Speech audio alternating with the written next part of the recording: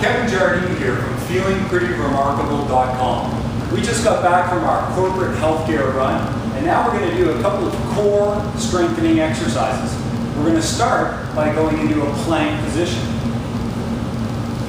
The plank is a great core exercise because it works a number of different muscles. Now we really should define the core, and where we like to define it is from the breastbone down to the knees. The core itself is centered by the pelvis. And the pelvis has about 29 muscles that attach to it, eight of which attach from the pelvis up, the other 21 attach from the pelvis down. This forms your suspension system.